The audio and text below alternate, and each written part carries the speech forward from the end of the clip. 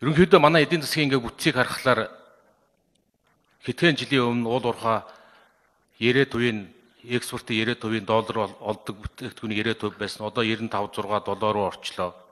Ирэх жил 40 сая тонн нүүрс гаргаад тэрний дараа жил төмөр зам тавиад 70 сая тонн нүүрс гаргаад яваад ирэхэд ер нь энэ бусад бүх салбар чинь яг одоо манай энэ эдийн засгийн бүтц, энэ төсвийн бүтц, энэ дагалт хууль дээр ярьж байгаа юм бодлого олон зүйлээр харахад бусад салбарч одоо тэр мал гэж जैन аж үйлдвэр гэж जैन энэ салбарууд ч юу н амьд үлдэх юм одоо ер нь.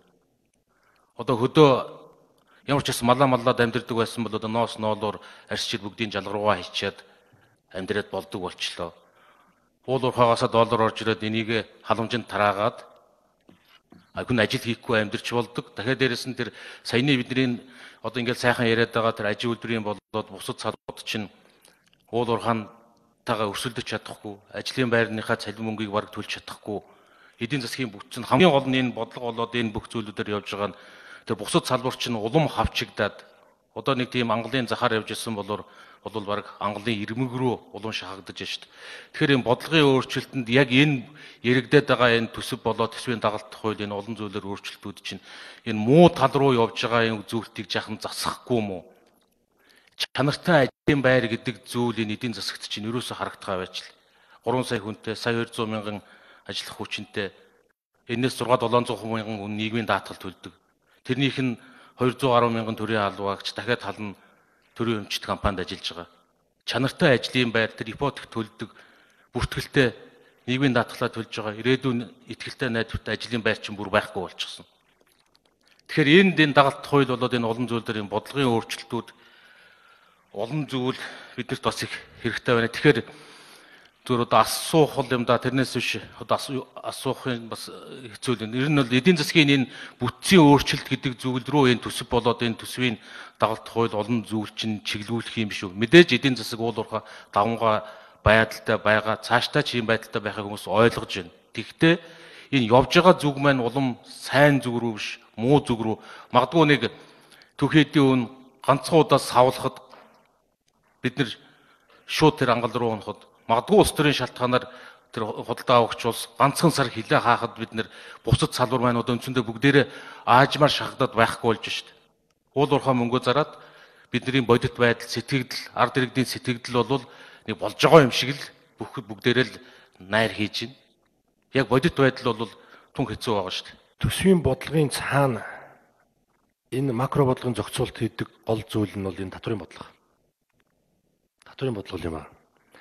Энэ татврын бодлогоор эдийн засгийг төрөлжүүлэх хэд уул уурхаагаас хамааралтай эдийн засгийн эрсдэлтэй бүтцээс одоо зайлсхийх, ийм бүтцийн өөрчлөлт хийх дунд урт хугацааны асуудлуудаа төлөвлөсөн асуудлуудаа дэмжсэн л юм төсвөлдөө татврын бодлого маань ч өөрөө тийм байна. Тийм ээ төсвөр яг шууд улс орныг хөгжүүлчихнэ гэж би бас хэлээгүй л да. Тэгтэл одоо яг миний юм тавьсан багын самбартай холбоотол хэлэх гээд байна л да. Төсвөр театр барих юм уу 21 онд ажлын байранд энэ мөнгийг очих хөстой юм биш үү? Тэр байтугай яг энэ дээр тодорхой зарчмын зөрүүтэй санал гаргаад тэр тээвэр логистикийн худалдааг дэмжсэн бүтцэд нэг багахан мөнгө тавиад өгөөч гэж байнгын хороондор санал гаргаад унжээлээ л да. Тэгэхээр одоо ирэх жил та сая хэллээ ковидтой олон зүйлийн ийм шин нөхцөл байдалтай байна гэж яг театр барьж эхлэх жил мөн үү? Эн чинь өөрөө дахиад төсвийн тэр саяны тэр төсөвдөр гараад байгаа тэр ангал төсөвдөр биш Монгол улсын эдийн засгийн бүтцэд гараад байгаа ангал чинь энэ нэг төсвийн бодлогоор чинь хүртэл ингэ дамжиж илрээд байгаа юм шүү. Ажлын байранд мөнгө өөр болохгүй театр барина л гэдэг чинь дахиад энэ төсвийн бодлогын нэг хэсэг юм шиг л санагдах юм. Эдийн засгаа дэмжихгүй байгаа. Эдийн засгийн тэр бүтцийн буруу зүг рүү яваад байгаа тэр үзүүлэлтээ бид нэр тэр үнцгийг засахгүй байгаа л эцэг нь Тэгээ зохицгорлог шүнтэй санал нэг байна. Энэ ерөн төсвийн бодлогоор дамжуулж, татврын бодлогоор дамжуулж ажлын байр бий болгодог хөдөлмөр баялаг бүтээгч нарыг дэмжихтэй бол санал нийлж байна. А гэхдээ энэ дээр нэг ялгаатай ойлголт байх ёстой шүү. Төр өөрөө ажил олгогч байж болохгүй. Төр өөрөө ажлын байр бий болгодог ийм институт байж болохгүй. Тэгэхээр юм бол төр өөрөө улмал данхаад байна. Харин зөв төсвийн бодлогоор дамжуулж энэ бизнесийн орчныг дэмжиж, ажил олгогч нарыг ажил олгогч баялаг бүтээгч нарыг дэмжих л энэ төрлийн эцсийн одоо туйлын бодлого байх хэвээр. Тэгэхээр ажил олгогч бизнесийн орчныг дэмжинэ гэдэг маань ер нь энэ төсвийн хөрөнгө оруулалт дотор байгаа ялангуяа дэд үтсийн асуудал гэдэг.